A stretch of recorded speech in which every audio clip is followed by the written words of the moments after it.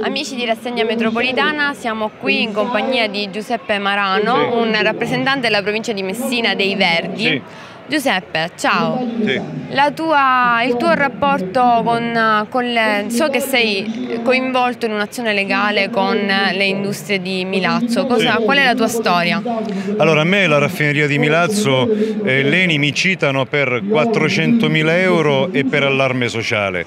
Sicuramente loro non mi citano perché io li abbia offesi su Facebook o altro, ma sono convinto che siccome è partita da Milazzo un'azione molto forte, dirompente, da parte dei cittadini, molti cittadini si sono rivolti al Tribunale attraverso il nostro legale, l'avvocato Antonio Giardina, dove chiedono i danni sotto, per quanto riguarda la paura di ammalarsi, il danno morale, il danno esistenziale, il non poter aprire le finestre di casa, quella classica puzza di gas, di idrocarburi che emanano le raffinerie. Noi diciamo basta a queste puzze, basta a questi odori sgradevoli che poi, badate bene, non sono delle semplici puzze, queste puzze di gas, ma sono delle sostanze altamente chimiche, velenose e cancerogene che fanno venire il tumore. Quindi noi agiamo per la paura di ammalarsi, cioè chiederemo i danni, abbiamo chiesto i danni alla raffineria di Milazzo e questo metodo applicativo contro la raffineria di Milazzo è stato anche adottato contro l'Eni e contro la raffineria Gera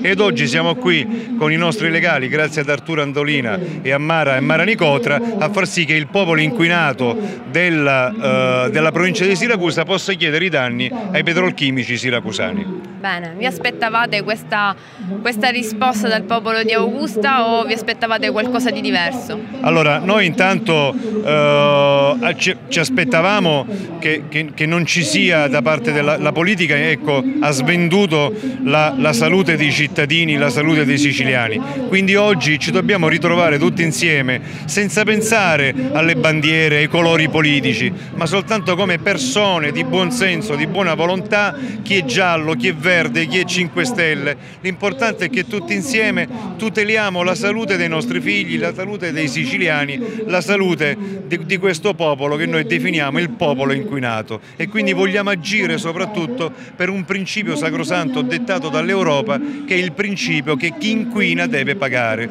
civilmente e penalmente. Ecco perché noi ci rivolgiamo, il popolo si rivolge alle procure e ai tribunali. Quindi la richiesta principale è quella di un risarcimento eh, per, questi, per, per, una serie di danni che possono essere a 360 gradi non solo quindi fisici ma anche morali, certo. oltre che l'impatto ambientale. Certo, noi non dobbiamo dimostrare la patologia da dall'inquinamento, ma i profili di danno sono il danno morale, il danno esistenziale, la paura di non poter aprire le finestre, soprattutto io penso agli immobili, quanto valgono gli immobili vicino alle industrie? Non valgono più nulla, la gente può chiedere i danni, deve essere risarcita e il principio che inquina paga è un principio fondamentale non soltanto per la popolazione ma per far sì che queste raffinerie, questi petrolchimici pagano i danni alle popolazioni e poi paghino anche le bonifiche, che non vadano via senza pagare le bonifiche, sono loro i responsabili, sono loro che devono pagare. Diciamo che la vostra è un'azione sicuramente che andrà avanti a lungo termine ben oltre la risoluzione di queste azioni legali. Certo, le nostre azioni e le azioni sono delle azioni civili ma sono anche delle azioni penali. La gente ora comincia a presentare le denunce querele, comincia a presentare denunce presenti in procura. A Milazzo per esempio è esploso un serbatoio della raffineria di Milazzo. Molta gente si è fatta refertare, molta gente si è affidata ai nostri legali, adesso entreranno nel processo penale eh, contro la raffineria che chiederanno i danni e si costituiranno parte civile. Quindi denunce penali penali, de, eh, azioni civili di risarcimento del danno, tutto questo per il principio che chi inquina deve pagare. Benissimo, grazie Giuseppe, grazie qui è tutto da Rassegna Metropolitana, Jessica Bellisti.